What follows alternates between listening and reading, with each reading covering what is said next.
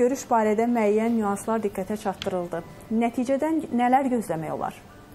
İlk növbədə qeyd eləmək lazımdır ki, Rusiyanın iştirakı ilə bu görüş olduqca vacibdir. Çünki 2020-ci il 10 noyabr tarixli üç tərəfli razılaşmanın əsas tərəflərindən biri Rusiyadır.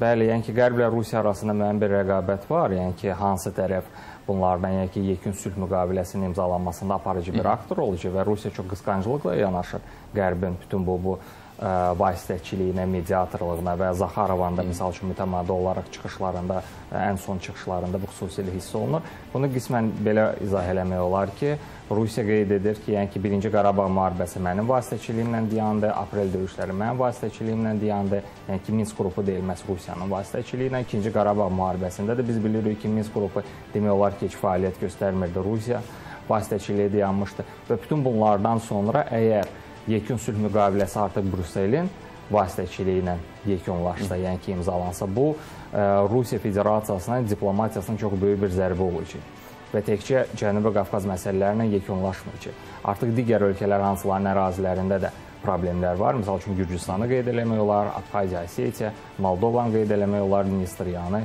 Mərkəzi Asiyanın bəzi ölkələrini qeyd eləmək olar. Onlar görəcəklər ki, Rusiyanın həyata keçirdiyi vasitəçilik hər hansı bir pozitiv nəticələrə gətirib çıxartmır. Proses elə uzana-uzana gedir. Ancaq Brüssel isə tutaq ki, bir il, il yarım ərzində məsələyə girdi və sülh müqaviləsinin imzalanmasına çalışdı. Baxın, bu qarşılıqlı rəqabət ona gətirib çıxardır ki, görüşlər əgər Brüsseldə baş verirsə, Moskva da həmin dəqiqə bir araya düşür ki, xarici işlər nazirləri səviyyəsində və yaxud da liderlər səviyyəsində bir görüş təşkil olunsun və nəticə etibarilə öz gündəliyində deməli irəli sürsünlər. Və bunların deməli ideyaları, formatlar tamamilə fərqlidir. Misal üçün Brüssel sülh müqaviləsinin hər tərəfli imzalanmasının tərəfdarıdır. Moskva isə deyir ki, iki tərəfli münasibətlər deməli həll edilsin, ancaq Qarabağ məsələsini gəlin saxlayaq qeyri-müəyyən bir gələcəyə.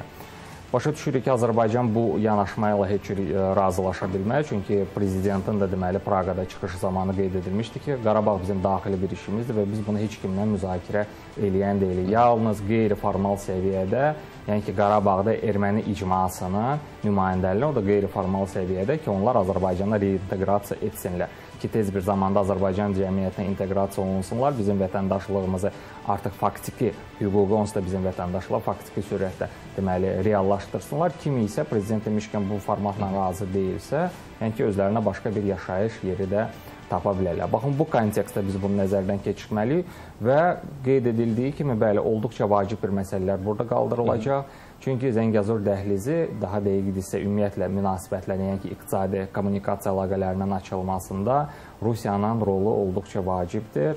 Çünki bilirik ki, 10 noyabr ə, deməli tarixli razılaşmaya görə Zəngəzur dəhlizinin təhlükəsizliyini Rusiyanın Federal Təhlükəsizlik Xidməti təşkil eləməlidir. Misal üçün Brüssel bundan razı deyil. Niyə? Çünki o ə, deməli dəhliz ümumiyyətlə məntiqini qəbul eləmirlər. Çünki dəhliz məntiqi Rusiyanın regionda nüfuzunu daha da artırır. Hı Əgər Laçında Rusiya sülh məramları dayanırsa, Zəngəzurda da Rusiyanın FSB-sı dayanırsa, bu ona gətirib çıxardır ki, Rusiyanın nüfuzu daha da onsuz da çoxdur, daha da deməli artmağa doğru gedir.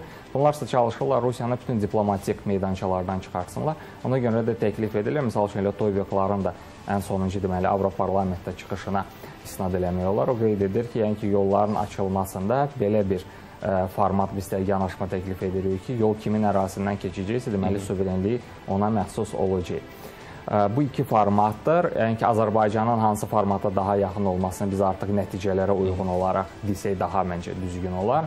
Ancaq Azərbaycan üçün belə hesab edirəm ki, ən yaxşı belə götürən format belə olardı ki, Laçın dəhlizi bağlansın, ancaq Zəngəzur dəhlizi isə açılsın.